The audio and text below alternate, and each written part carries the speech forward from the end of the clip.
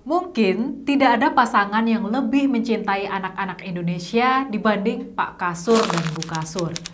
Dan beruntungnya para orang tua kita zaman sekarang, mereka yang melewati masa kecil di tahun 60-an sampai 90-an karena mereka pernah diasuh oleh Pak Kasur dan terutama Bu Kasur.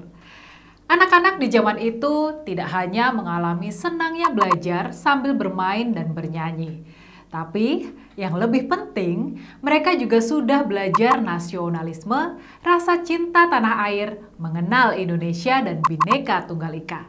Semua itu sudah dikenalkan sejak dini lewat acara anak-anak di televisi. Yah, di zaman itu, industri media kita belum tersusupi para kadrun dan kaum hijrah. Di tahun 60-an sampai 90-an, boleh dikata semua anak Indonesia kenal sama sosok Bukasur. Dia ini bintang media, kayak Raffi Ahmad dan Atta Halilintar di zaman sekarang. Tapi segmen pasar Bukasur adalah acara anak-anak.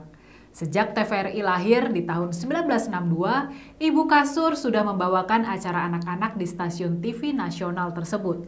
Acara Arena Anak-anak, Mengenal Tanah Airku, dan juga Taman Indria Bukasur.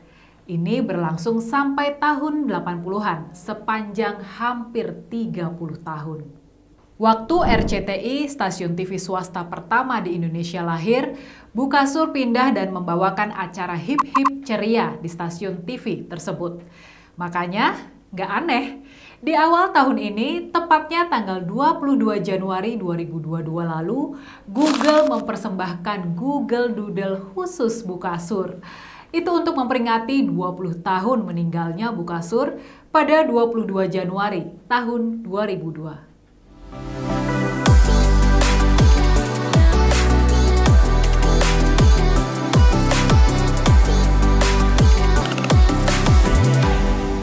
Nama asli Bukasur adalah Sandiah.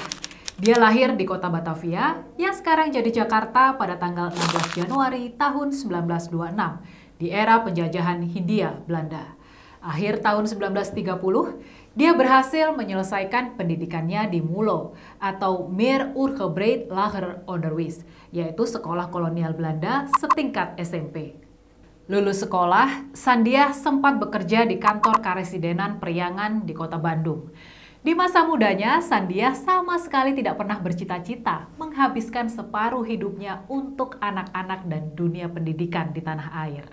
Sandia mulai mengenal anak-anak dan dunia pendidikan ketika berjumpa dengan lelaki bernama Surjono yang kemudian menjadi pasangan hidupnya. Mereka menikah di Yogyakarta tanggal 29 Juli tahun 1946 di masa-masa perang mempertahankan kemerdekaan. Mereka menikah di sebuah tempat pengungsian. Waktu itu, Surjono sedang ikut perang gerilya melawan Belanda. Sementara itu, Sandiah bergabung dengan Palang Merah Indonesia. Pasangan ini bertemu beberapa waktu sebelumnya ketika sama-sama tinggal di Bandung sekitar tahun 45. Kebetulan mereka bergabung di Kepanduan Indonesia atau Pramuka di Bandung. Ketika negara kita sudah kembali damai, di tahun 1950 mereka pindah ke Jakarta. Di ibu kota inilah perjalanan karir pasangan Surjono dan Sandiah di dunia anak-anak dan pendidikan mulai mengalir. Surjono sendiri pernah bekerja sebagai guru sekolah dasar di zaman penjajahan Hindia Belanda, yaitu di Hollands Inlandse School. Di Jakarta, dia diterima sebagai pegawai Departemen Penerangan. Salah satu tugasnya adalah mengumpulkan anak-anak buat siaran di Radio Republik Indonesia. Terpilihnya Surjono untuk tugas ini adalah latar belakangnya. Ini karena dia pernah aktif di kepanduan sewaktu tinggal di Bandung tadi. Nah, di sini ada cerita unik. Waktu jadi pramuka itu, seorang pembina umumnya dipanggil dengan sebutan Kak. Maka Surjono pun mendapat panggilan Kak Sur. Panggilan ini terus melekat pada diri Surjono. Sewaktu memandu acara anak-anak di RRI, karena usianya sudah bertambah, panggilan Kak Sur pun berubah menjadi Pak Kasur. Dari sinilah Sandia mendapat panggilan Bu Kasur karena dia adalah istri dari Pak Kasur.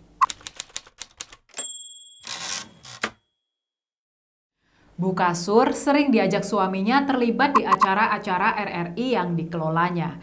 Dari sinilah, secara otodidak, Bu Kasur belajar soal anak-anak dan pendidikan. Ketika Pak Kasur bertugas keluar kota, sering kali Bu Kasur yang menggantikan tugas suaminya memandu siaran anak-anak. Dari pengalaman ini, akhirnya Bu Kasur diberi kepercayaan oleh RRI untuk mengasuh program sendiri, Panggung Gembira RRI, sebuah acara buat anak-anak juga.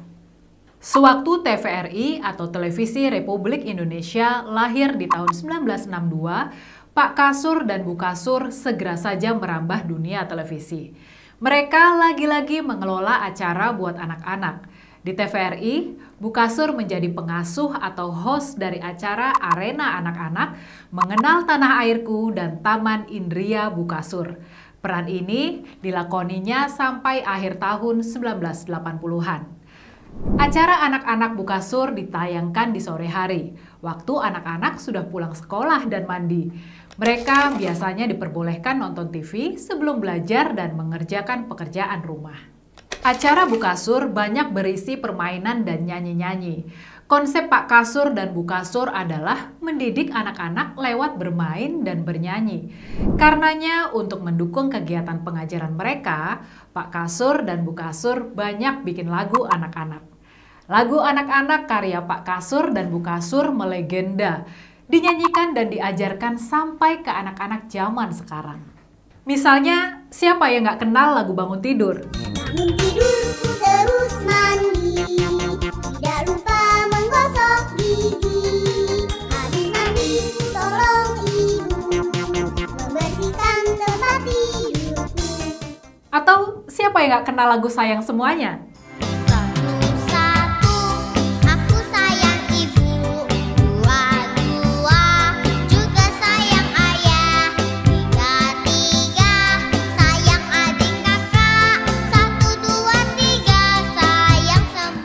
Lagu-lagu ciptaan Bu Kasur dan Pak Kasur sangat khas. Lagunya sederhana, pendek-pendek, dan di dalam liriknya pasti ada unsur pembelajaran. Di lagu Bangun Tidur misalnya, ada pelajaran buat mandi di pagi hari, gosok gigi, membantu ibu dan juga merapikan tempat tidur sendiri. Di lagu Sayang Semuanya, anak-anak diajar buat menyayangi semua manusia, mulai dari ibu, ayah, adik, kakak, sampai semua orang lainnya. Satu lagi ciri khas lagu ciptaan Bu Kasur, dia jarang memakai kata yang ada huruf R-nya. Menurut Bu Kasur, itu memang disengaja karena banyak anak-anak sulit melafalkan huruf R.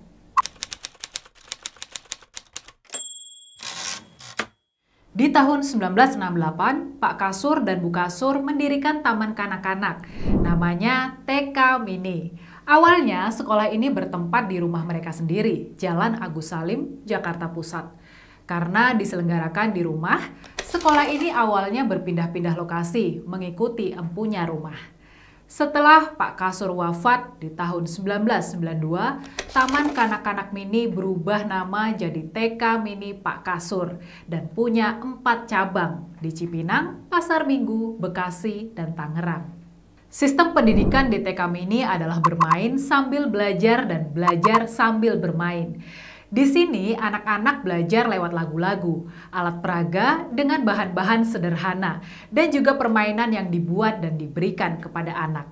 Semua ini tujuannya untuk mengembangkan kemauan, keterampilan, kemampuan, dan kerjasama atau biasa disebut sebagai 4K.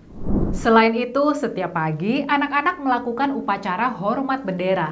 Ini untuk menanamkan rasa cinta tanah air sejak dini. Acara ini juga berguna untuk melatih anak-anak untuk berani tampil jadi komandan upacara supaya tidak malu dan gugup. Walau sering dianggap kuno karena tidak ada pengajaran baca tulis, hitung, atau calistung, TK Mini tidak ambil pusing. Kemampuan anak usia 5 tahun ke bawah memang belum sampai tingkat baca, tulis, dan berhitung sesuai dengan tumbuh kembangnya. Selain mendidik murid-murid, TK Mini juga menjadi tempat belajar para aktivis anak. Salah satunya adalah Kak Seto Mulyadi, psikolog anak, pendiri sekolah alternatif homeschooling, dan juga pencipta tokoh boneka si Komo. Kak Seto ini pernah menjadi asisten Pak Kasur. Atas saran Pak Kasur juga, Kak Seto kuliah di jurusan psikologi dan mengambil bidang keahlian psikologi anak-anak. Sebagai sosok yang menghabiskan hidupnya untuk anak-anak Indonesia, Bu Kasur mendapat banyak penghargaan. Di antaranya, waktu perayaan Hari Anak Nasional tahun 1988, dia mendapat penghargaan dari Presiden Soeharto. Tahun 1992, dia dianugerahi penghargaan Bintang Budaya Paramadharma. Sebelumnya, tahun 1976, dia pernah mendapat penghargaan dari pemerintah Italia, yaitu Centro Culture Italiano Premio Adelaide Ristori Anno Secondo. Ibu Kasur wafat pada tanggal 22 Oktober 2002 di usia 76 tahun di Rumah Sakit Cikini karena serangan stroke. Dia dimakamkan di samping makam Pak Kasur di Desa Kaliori, Kalibangor, Banyumas, Jawa Tengah. Demikian Historini kali ini. Sampai jumpa di Historini selanjutnya.